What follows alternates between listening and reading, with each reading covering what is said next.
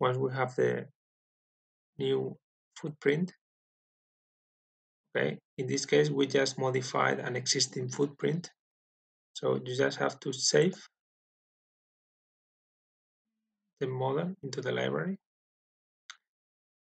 And so we can see the PCB here with the old footprint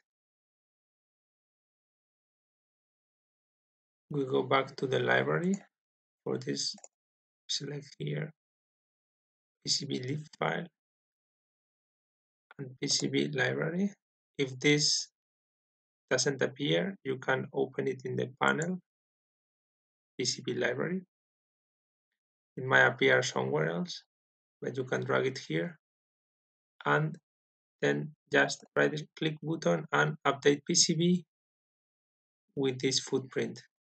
If you press this, then it will update all the components of your PCB with your existing components of the library. But we just want to modify one, this one, update this one. So we update everything. And we go to the project.